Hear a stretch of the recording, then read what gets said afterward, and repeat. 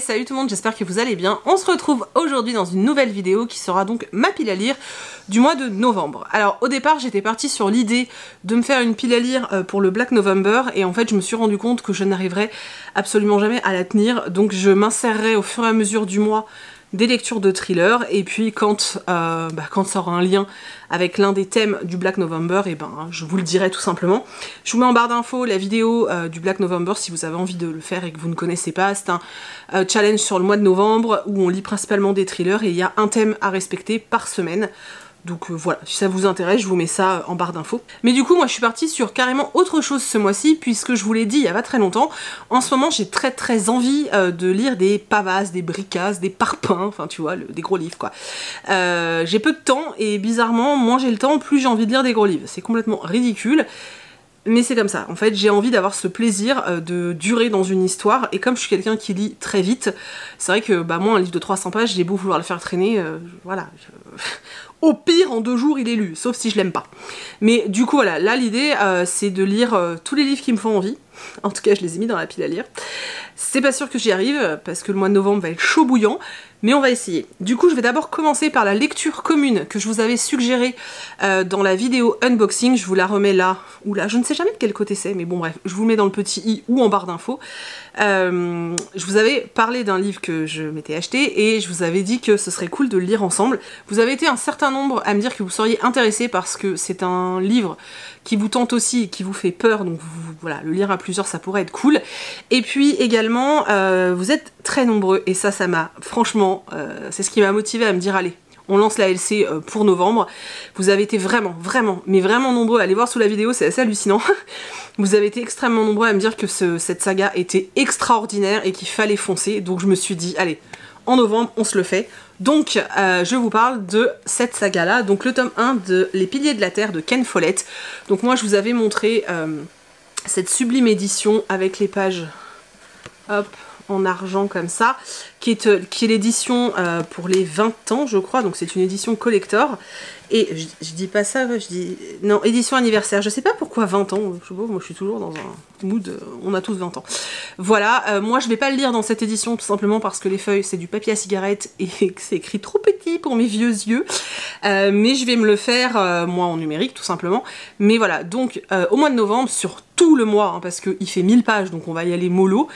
Même si vous êtes nombreux à me dire qu'il se bouffe littéralement, on verra. En tout cas, euh, je vous propose de se lire Les de la Terre sur tout le mois de novembre. Et fin novembre, euh, je ferai un live sur YouTube où on pourra discuter du roman. Euh, alors il y aura une partie spoilante et une partie non spoilante. Mais voilà, on, pourra discuter du roman tous ensemble, je pense que ça peut être plutôt cool. donc voilà, si jamais vous avez envie de nous suivre dans cette folle aventure, je vous remets comme d'habitude le lien en barre d'infos euh, pour euh, le groupe euh, où il y a tout ce qui est défis, lecture commune, etc. Donc voilà, je vous remets le lien en barre d'infos. Et de toute façon, si vous le lisez, n'hésitez pas à me taguer quand vous en parlez sur les réseaux sociaux pour que je puisse voir où vous en êtes, etc. Je pense que je le mettrai moi sur le groupe. J'essaierai de faire un espèce de découpage par semaine pour que vraiment il s'étale sur tout le mois. Et moi j'essaierai de le respecter en fait ce découpage sauf si réellement je suis trop à fond dedans et que je n'arrive pas à lâcher. Hein. Mais voilà, donc j'espère vraiment que vous serez nombreux à lire avec moi ce roman, parce que je sais que vous êtes nombreux à en avoir envie, donc euh, voilà. Il faut pas qu'on ait peur, on va y aller tous ensemble. Et même si ça nous dure un mois, c'est pas grave. Et si on kiffe sa maman, on se lira le tome 2 le mois prochain. Voilà. Donc voilà, du coup maintenant je vais vous montrer les livres que je meurs d'envie de lire clairement. Euh, vous allez voir que la thématique euh, de, ce, de cette pile à lire de novembre, c'est vraiment les gros livres. Hein.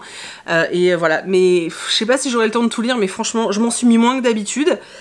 Même si au nombre de pages, je pense que j'explose les quotas. Mais vous allez voir qu'ils ont l'air tous extraordinaires. Le premier que je vous montre, c'est celui que je vais commencer tout à l'heure, c'est pour ça que je vous le montre maintenant. Il s'agit de Je suis fille de rage de Jean-Laurent Del Socorro. Regardez-moi ce livre, s'il vous plaît quoi. Euh, donc c'est chez ActuSF. Euh, ils avaient déjà édité un des romans de Jean-Laurent Del Socorro dans cette édition-là. Euh, c'est sublime, franchement c'est juste magnifique. Et j'ai trop hâte de le lire. Après c'est assez... Vous voyez, il faut pas avoir peur non plus, hein. c'est assez évaporé, j'allais dire. Euh, c'est assez aéré et je pense que ça va être plutôt pas mal. On est pendant la guerre de sécession aux États-Unis. Euh, je sais pas si on est dans de la fantaisie, puisque euh, Jean-Laurent Del Socorro a quand même l'habitude de faire des romans fantaisie lié à une période historique. Donc euh, voilà, mais j'ai super hâte de me plonger dedans, je l'ai reçu hier, et depuis que je l'ai, je n'ai qu'une envie, c'est de le lire. Donc euh, je vais l'attaquer ce soir pour tout vous dire. Donc normalement, au moment où vous, voyez cette vidéo, j'ai déjà commencé ce livre. Ensuite, pareil, une sortie que j'attendais, vous pouvez pas imaginer. J'avais lu euh, un livre un des romans de cette autrice il y a quelques années déjà, et comme le tome 2 n'était pas euh, traduit et que je voulais pas le lire en anglais parce que j'avais très peur de ne pas avoir le niveau clairement, j'ai appris que euh, De allait, enfin avait dû racheter les droits je pense, puisqu'ils vont traduire euh, la saga The Bone Season, donc ils vont traduire les deux tomes. En 2020 on les aura, donc ça c'est juste génial. En attendant, ils ont sorti un autre roman de l'autrice qui est un roman fantasy.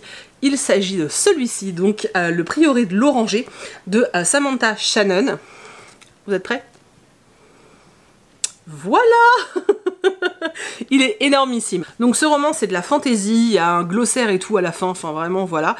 Euh, il va être disponible en, sous deux formats, donc il est déjà disponible sous ce format là, donc en paperback. Euh, c'est vraiment une brique, hein. je crois qu'il fait 1000 pages, donc euh, c'est vraiment une brique. J'espère que le dos va pas casser. et il sort le 21 novembre en hardback, ce qui est quand même assez rare en France, vous le savez. Euh, donc il sera en édition collector à partir du 21 novembre je crois. Donc moi je compte le lire avant et si vraiment euh, je le kiffe de ouf, je me l'achèterai euh, en hardback et je vous ferai gagner celui-ci. parce que voilà, parce que celui-là c'est un SP, hein. c'est de Saxus qui me l'a envoyé, c'est déjà très très gentil de leur part.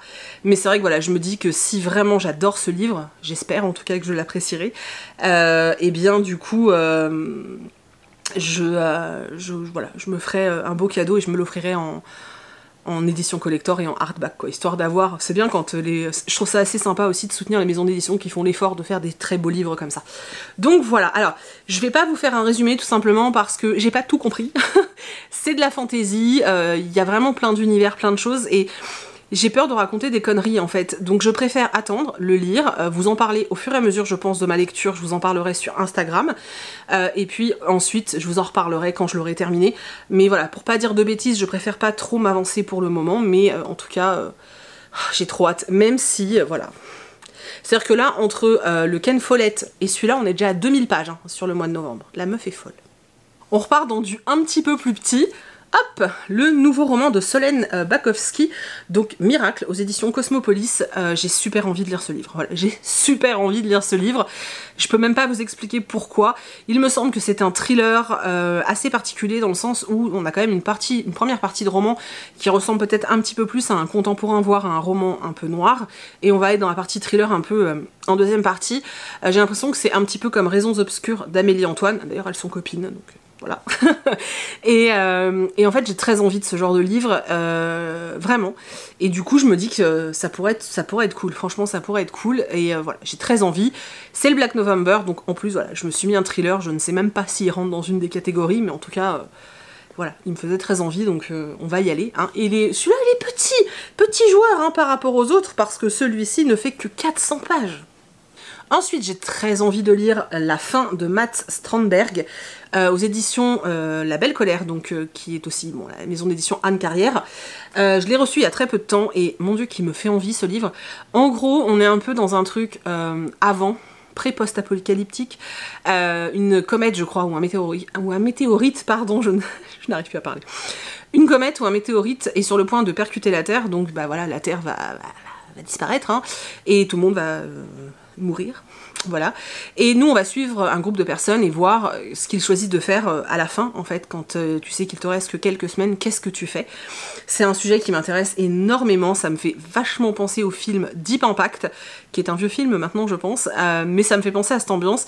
Et à l'époque où Deep Impact est sorti, j'avais adoré. J'avais adoré, justement, voir ces personnages évoluer, en fait, et essayer de survivre au maximum, d'essayer de s'éloigner le plus possible de l'endroit où le météorite allait percuter la Terre, euh, et, voilà, et essayer de faire leurs derniers adieux, etc. Enfin, c'était vraiment très intéressant, et j'ai envie de voir euh, bah voilà, comment, euh, comment l'auteur là va nous, va nous présenter cette histoire, et j'ai vraiment très envie de le lire, donc je me le suis mis pour ce mois-ci. Et pareil, celui-ci, et même si on dirait pas, il fait quand même 500 pages, donc c'est plus petit que les autres, mais quand même. Donc j'ai aussi décidé de lire La Formule de Dieu de Dos Santos. Euh, alors je suis désolée, hein, avec la ring light, voilà, ça fait un, truc de ouf au niveau du titre. Je vais vous le mettre comme ça, voilà. Donc euh, La Formule de Dieu, euh, c'est un roman qui est sorti il y a déjà pas mal de temps. Hein. donc si vous souhaitez le lire, il est dispo en poche, hein, il existe déjà en poche. Là, je vous montre la version collector qui est sortie. Et alors les gars, bon, il shiny pas comme ça normalement, c'est à cause de mes lampes mais euh, il, est, il, est, il, est, divin, sincèrement, il est magnifique. Euh, j'ai depuis très longtemps envie de découvrir euh, les écrits de Dos Santos, et du coup, voilà, là c'était l'occasion, je suis hyper contente, j'ai trop trop hâte. Celui-ci, vu qu'il est sorti en poche, si vous avez envie qu'on le lise ensemble, c'est pareil, n'hésitez pas à me le dire, et puis moi, dès que je le sors, je vous préviens, et puis on essaye de, se lire ça tous ensemble. Et sinon, Sève, c'est pareil, hein, je t'attends, puisqu'on devait le lire aussi ensemble. Voilà. Il m'en reste encore trois à vous montrer, donc un que j'ai pas encore pris le temps de lire et franchement j'ai voilà, j'ai juste trop envie, donc il faut absolument que j'arrive à me le caser. Il s'agit de Le Wanderer, donc Nevermore, le tome 2, euh, de Jessica Townsend. J'avais eu un très beau coup de cœur pour le tome 1, je pense que vous le savez. J'attendais ce tome 2 avec forte impatience, il est entre mes mains et je n'ai toujours pas pris le temps de le lire. Donc en novembre, je lis euh, le tome 2 de Nevermore. En plus, je pense qu'avec toutes les grosses lectures que je me suis prévues, me faire un petit jeunesse où c'est écrit bien gros et tout, ça va bien passer, même si c'est un beau bébé aussi quand même. Hein. Mais euh, voilà, j'ai vraiment hâte aussi de, repartir là-dedans. Le nouveau livre de Maxime Chatham, donc un secte ou une secte, hein, voilà pour le, petit jeu de mots, euh, qui sort le 4 novembre, donc je pense qu'au moment où vous voyez cette vidéo, il est sorti. Euh, je le trouve plus petit que d'habitude, donc bon voilà, j'ai très envie de le lire. Et maintenant les Chatham, je les lis au moment où ils sortent, parce que j'ai, très honnêtement, hein, parce que j'ai la chance de les recevoir. Je pense pas que je dessus sinon. Hein. Clairement, j'irai pas les acheter, j'irai pas courir en librairie. Je suis pas fan à ce point-là. Mais j'ai la chance de pouvoir les recevoir. Et du coup, c'est vrai que j'essaie de le lire au moment où il sort, tout simplement parce que je ne veux pas être pollué par les avis des autres. Surtout que euh, ça fait beaucoup parler en général euh, les nouveautés euh, de Maxime Chatham. Et j'ai vraiment envie de me faire mon propre opinion sans me laisser influencer par les autres. Et voilà, du coup je vais le lire là début novembre je pense justement pour le lire avant que je vois passer trop d'avis dessus et je ne sais pas de quoi ça parle et je ne veux pas le savoir. Et le dernier euh, livre que je me suis prévu euh, dans cette pile à lire du mois de novembre, c'est pareil, c'est un livre qui me fait super, super, super envie. J'ai déjà vu la série euh, télévisée, tout le monde m'a dit que la série était vraiment minable par rapport au livre en fait, donc j'ai vraiment hâte de découvrir le livre. Donc il s'agit de Dôme. Donc le tome 1 de Stephen King aux éditions Albin Michel. Je trouve cette édition juste splendide. Alors j'adore le violet moi, donc euh, voilà. Oui, je l'avais acheté chez Gibert à, à 2 euros. Et euh, voilà, donc j'ai vraiment hâte de le lire. Je pense que je vais essayer de me faire un King tous les mois. Euh, ouais, je pense que je vais me faire ce petit kiff. Donc, donc voilà, je vais pas vraiment vous faire le, speech. Hein. voilà, c'est une ville qui va se retrouver bloquée sous un dôme. Et puis euh, on, va, on va suivre les survivants, ceux qui sont dans le dôme, comment ils apprennent à vivre, ce qui se passe au niveau de la prise de pouvoir, au niveau de toutes ces choses-là. J'adore ce genre d'ambiance.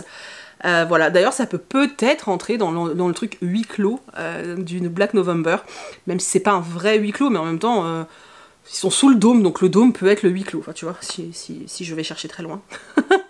donc voilà, j'ai super hâte de le lire et j'espère que je vais autant aimer que le dernier que j'ai lu qui est juste là. Donc voilà, c'en est tout de ce que j'ai prévu de lire. Là, je vous ai vraiment montré euh, les livres qui me font le plus envie euh, là en ce moment. C'est-à-dire qu'en ce moment, dès que j'ai envie de me poser pour lire, c'est à eux que je pense. Hein. J'ai envie de lire ces romans, vous imaginez pas à quel point. Donc euh, j'espère vraiment trouver le temps de pouvoir me plonger dans toutes ces magnifiques histoires. J'espère que vous aussi de votre côté, vous aurez le temps de découvrir des, livres géniaux et de vous de rentrer totalement en immersion dans plein d'univers. Pour tous ceux qui ont envie de faire la LC euh, du Ken Follett, n'hésitez pas à nous rejoindre sur le groupe. N'hésitez pas non plus du coup à me taguer. Sur le groupe, je vais faire le découpage du roman euh, en nombre de pages ou en nombre de chapitres, je vais voir, pour qu'on puisse avancer un peu au même rythme. En tout cas, ceux qui en ont envie, hein, j'oblige personne, vous le savez. Ensuite, c'est pareil, je pense que je mettrai sur Instagram une story à la une qui s'appellera du coup, je sais pas, soit les piliers de la terre, soit Ken Follett plutôt. J'aurai plus de place pour ça. Et puis comme ça, vous pourrez suivre au fur et à mesure euh, l'avancée euh, de ma lecture. Et puis on pourra échanger. N'hésitez vraiment pas à me taguer parce qu'il n'y a que comme ça que moi je peux vous retrouver euh, sur les réseaux et que je peux bah, échanger avec vous en fait autour de, cette lecture. J'espère vraiment qu'on sera quelques-uns quand même à le lire, ça va de façon à ce qu'on puisse bah voilà s'encourager et puis échanger autour de, du roman parce que c'est vraiment ce qu'il y a de plus cool en fait. Voilà. Du coup je vais arrêter de parler, j'espère vraiment que cette vidéo vous a plu, que je vous ai fait découvrir certains titres, que je vous ai donné envie de lire plein de super choses. Euh, n'hésitez pas à me dire ça en commentaire, dites-moi si vous participez au Black November, si vous lisez complètement autre chose au mois de novembre, si vous vous êtes donné un thème, enfin voilà, n'hésitez pas à me dire tout ça dans les commentaires, je serai ravie de vous lire comme d'habitude. Je vous remercie en tout cas du fond du cœur d'avoir regardé cette vidéo jusqu'au bout et je vous dis bah du coup à bientôt dans une nouvelle vidéo.